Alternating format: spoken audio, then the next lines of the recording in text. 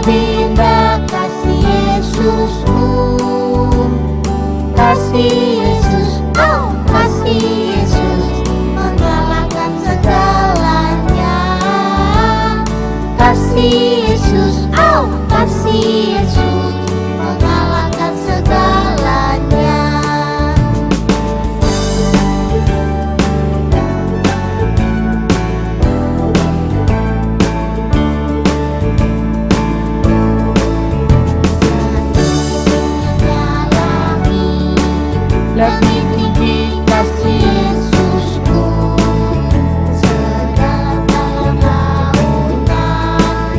lebih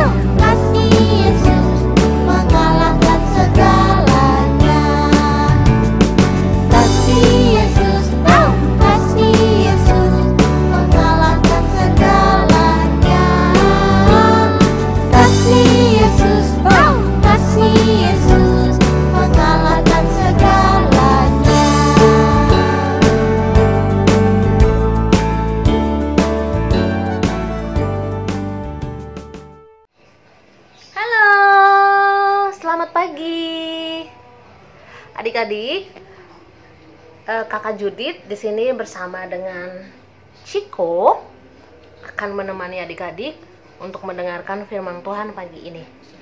Ya, Ciko. Halo teman-teman. Saya akan menemani kalian, tapi aku sih hanya mendengarkan saja sih. Cuman ya kadang-kadang saya juga bicara, tapi Hmm, udah Ciko, kita mau doa dulu sebelum dengerin firman Tuhan ya. Yuk kita sama-sama berdoa. Tangan ke atas, tangan ke depan, tangan ke samping, lalu dilipat. Yuk kita berdoa yuk. Tuhan Yesus, eh, sebentar lagi kami mau mendengarkan firman Tuhan. Bapa, berkatilah kami supaya kami anak-anakmu ini bisa mendengar firman Tuhan dengan baik dan kami juga mengerti eh, untuk firman Tuhan yang disampaikan oleh kakak Judit pagi ini. Terima kasih Bapa, dalam nama anakmu Tuhan Yesus Kristus, kami berdoa dan siap untuk mendengarkan firman Tuhan. Amin.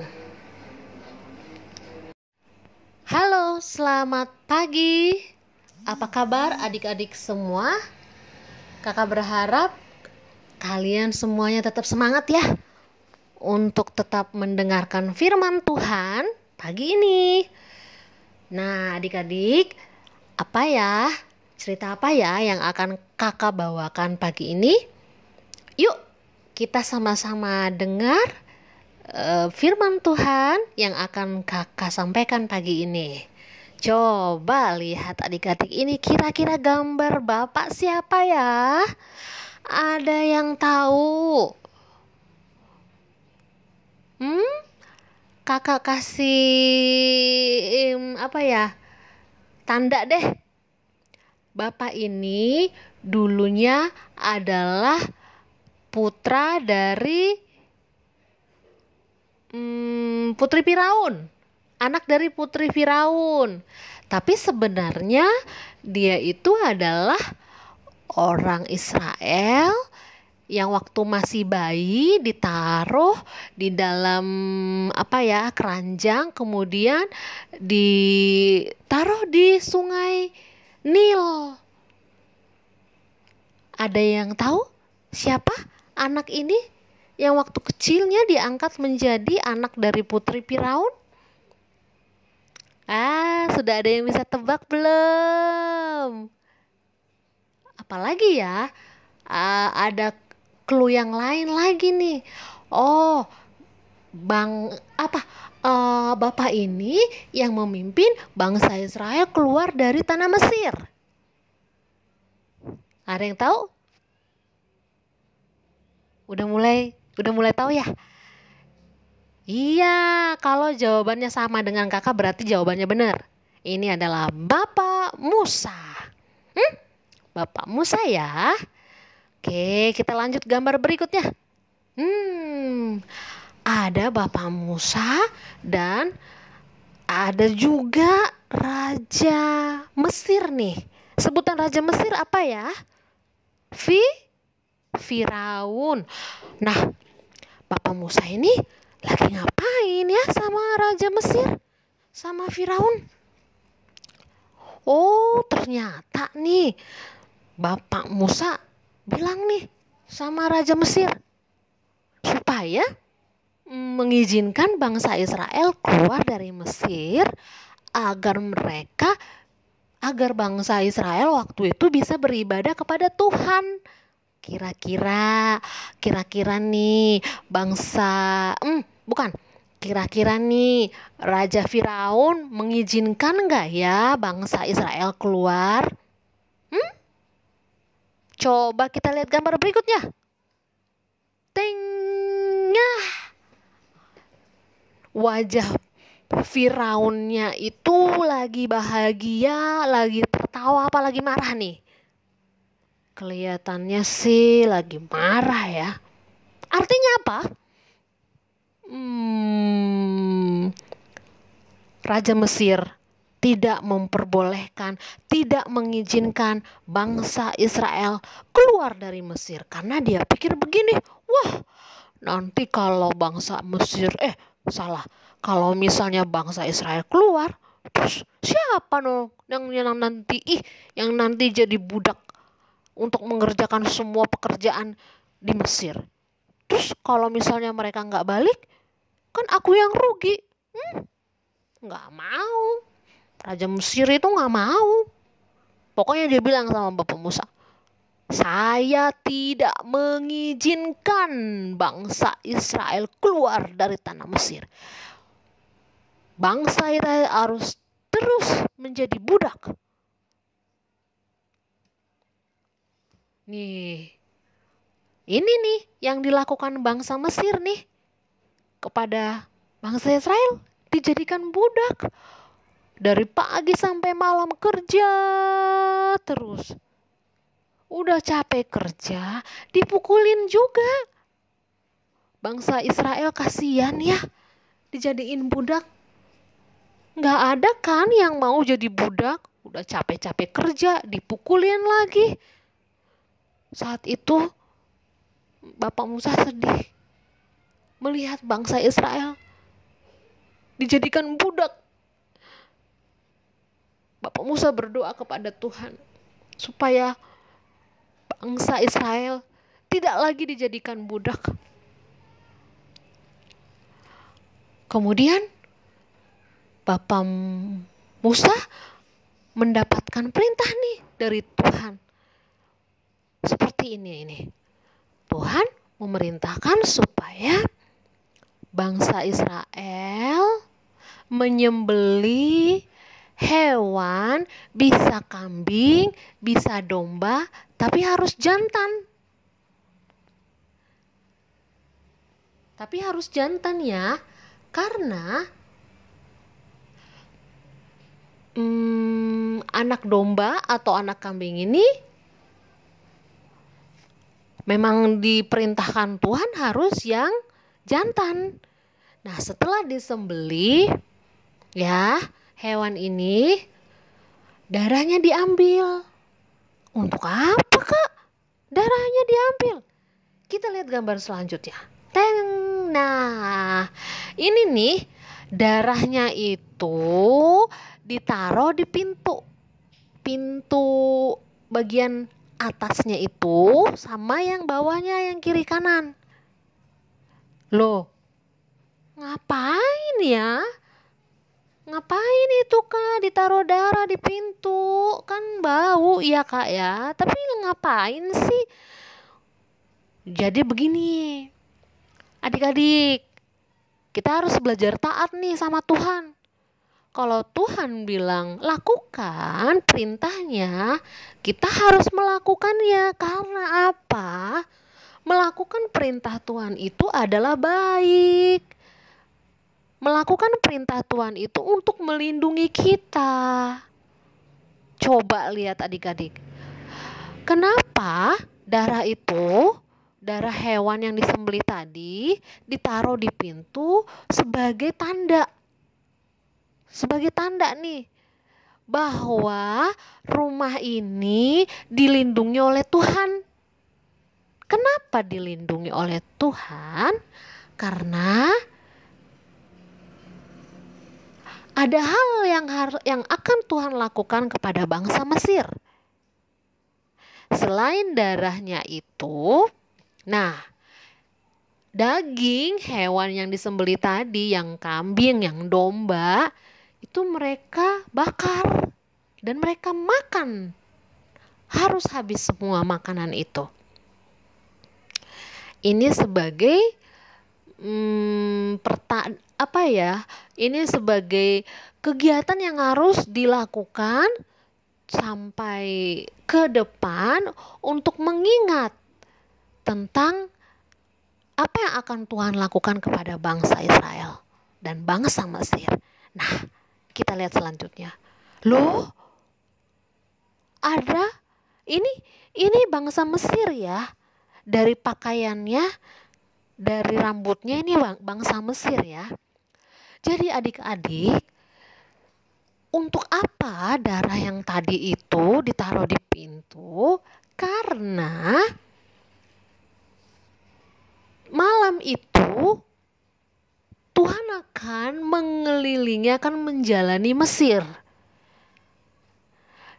Ketika Tuhan melihat pintu yang ada darahnya, itu berarti milik bangsa Israel. Nah, kalau tidak ada tanda darah itu, berarti rumah itu milik orang Me Mesir. Nah, inilah tulah yang terakhir yang dilakukan Tuhan pada bangsa Mesir yaitu semua anak sulung bangsa Mesir meninggal hari itu. Anak sulung dari mulai raja Mesir sampai kepada hamba-hambanya pelayan-pelayannya pelayannya itu semuanya meninggal. Anak anak sulung artinya anak yang pertama kali lahir. Ya. Nah, bangsa Mesir semua orang yang mempunyai semua orang Mesir yang mempunyai anak sulung laki-laki yang sulung yang paling gede itu meninggal pada malam itu juga. Nah, itu semua membuat menangis semua orang Mesir karena mereka kehilangan anak pertama mereka. Jadi semua orang pada menangis, menjerit karena bukan hanya satu atau dua anak yang meninggal, tapi semua anak yang lahir yang pertama itu meninggal pada malam itu juga. Nah, kita lihat gambar ini, bagaimana seorang ibu telah ibu Mesir telah kehilangan anaknya karena mereka tidak menaati apa yang uh, Bapak Musa bilang. Nah, Bapak Bapak Firaun ini ya mendatangi Musa.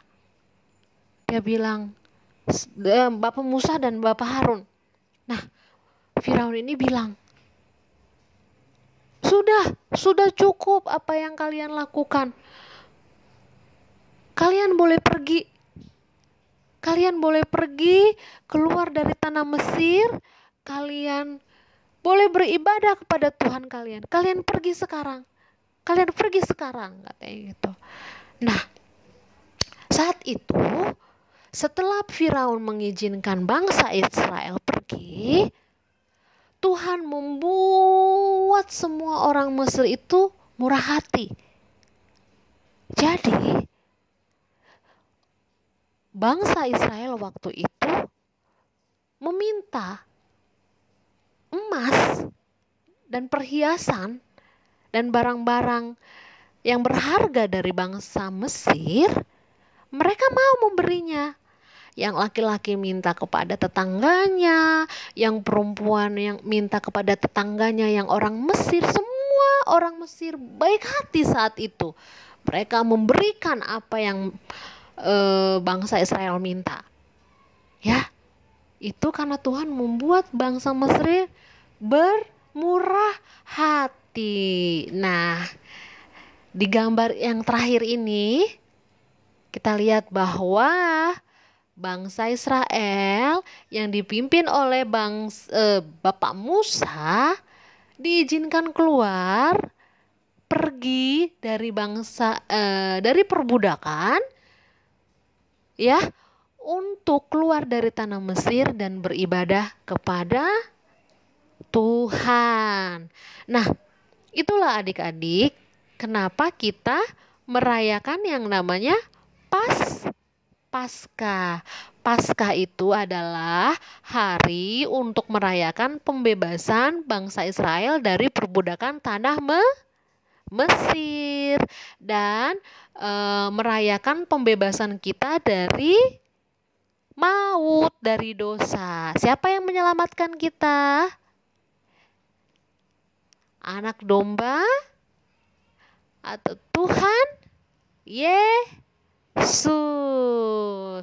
Oke adik-adik, ceritanya sudah selesai. Terima kasih. Nah, Ciko dan adik-adik semua tadi kan sudah mendengarkan firman Tuhan. Uh, kakak mau nanya nih sama Ciko nih, karena kakak cuman bisa dengerin suara Ciko nih. Hmm, Ciko, kakak mau nanya deh sama kamu. Udah dengerin firman Tuhan kan tadi? Oke. Kemudian, kakak mau nanya. Hmm, siapa sih yang hmm, yang apa ya? Yang memimpin bangsa Israel keluar dari Mesir? Kamu tahu siapa?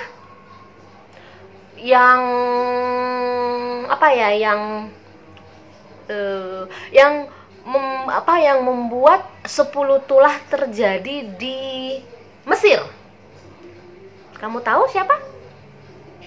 Hmm, tunggu kak. Aku berpikir dulu. Berikan aku waktu. Waktu? Mau berapa lama eh satu jam ya Lama amat satu jam.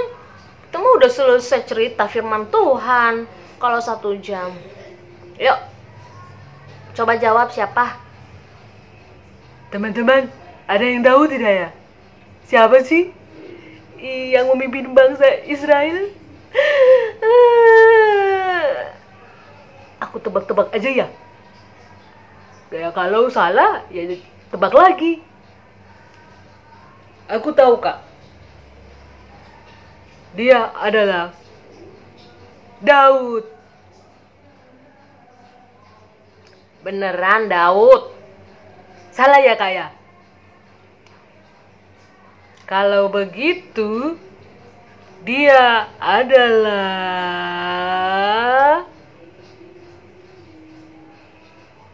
Salomo.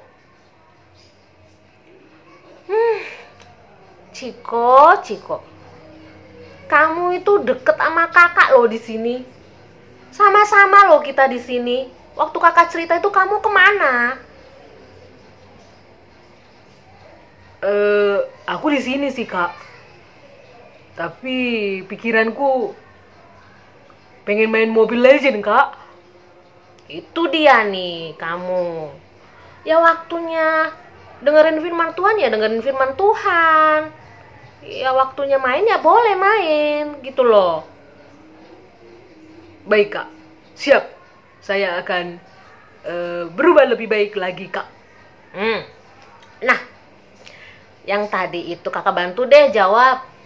Yang memimpin bangsa Israel itu siapa adik-adik? Waktu keluar dari tanah Mesir? Mung Musa. Ciko, ada berapa tulah yang dilakukan oleh Tuhan melalui Bapak Musa dan Bapak Harun waktu itu kepada bangsa Mesir? Ada berapa?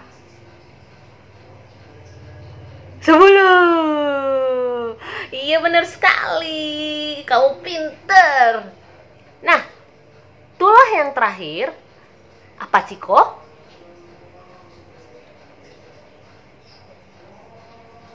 Bengong, bengong, bengong, bengong. Aku bingung kakak Judit. Aku lupa kakak Judit. Aku lupa maafkan aku. Aku lupa apa tulahnya. Oke deh, pagi ini ya, kakak itu benar-benar harus sabar sama kamu. Oke, adik-adik, kakak, jangan seperti Ciko ya. Jangan seperti dia. Kalau memang mendengarkan firman Tuhan, dengerin baik-baik, jangan ke mana-mana pikirannya. Hmm. Oke kakak. Nah, itulah yang terakhir itu adalah anak sulung bangsa Mesir mening meninggal gitu loh. Itu yang membuat bangsa Israel bisa keluar dari tanah Mesir dari perbudakan. Nah, pelajaran apa yang kita bisa dapat dari cerita kita hari ini adalah bahwa Paskah adalah hari di mana Tuhan membebaskan bangsa Israel keluar dari perbudakan bangsa Mesir. Nah, bagi kita, Paskah itu adalah artinya pembebasan kita manusia dari perbudakan dosa, yaitu dengan kematian Tuhan Yesus di kayu salib. Nah, ketika Tuhan sudah mau mati untuk kita supaya kita itu terbebas dari beleng dari dosa, dari perbudakan dosa, jadi kita merayakan Paskah. Oke, okay? Ciko? Ya. Jadi adik-adik, uh, kakak mau uh, sampaikan ke adik-adik, Tuhan itu sudah baik loh sama kita. Tuhan itu sudah memberikan hidupnya, memberikan nyawanya. Dia mau mati bagi kita, bagi kakak dan juga bagi adik-adik. Dia sudah mau mati buat kita supaya kita itu bebas dari dosa. Jadi kita jangan lagi melakukan dosa. Kita harus menghargai apa yang sudah Tuhan lakukan pada kita. Caranya apa? Jangan kembali melakukan dosa. Misalnya nih, misalnya ya, kayak Ciko nih tadi. Waktu mendengarkan firman Tuhan, pikirannya ke mana-mana. Dia pengen main Mobile Legend, dia pengen main game. Jangan gitu ya, adik-adik ya. Belajarlah untuk menghargai Tuhan Nah, ketika mendengarkan firman Tuhan, dengarlah baik-baik gitu ya. Atau mungkin juga kalau dulu waktu kita sekolah, uh, waktu mau ujian, mungkin ada di antara kita adik-adik yang nggak belajar, tapi takut nanti dimarahin sama mama papa nilainya jelek, akhirnya kita nyontek. Tuhan maafin apa yang kita lakukan. Tuhan sudah Tuhan itu selalu maafin kita. Jadi kalau udah berbuat dosa, kalau udah pernah nyontek lagi, jangan pernah lagi nyontek. Jangan pernah lagi berbuat dosa. Kenapa? Karena Tuhan sudah menebus kita dari dosa, dari perbudakan dosa, sama seperti bangsa Israel dibebaskan Tuhan dari perbudakan Mesir. Oke, adik-adik? Oke, siap ya untuk selalu berbuat yang terbaik untuk Tuhan. Ya, uh, cerita kita selesai pagi ini. Cerita sekolah minggunya juga selesai. Nah, terima kasih adik-adik. Sampai jumpa. Selamat pagi. Tuhan memberkati. Bye. Bye teman-teman.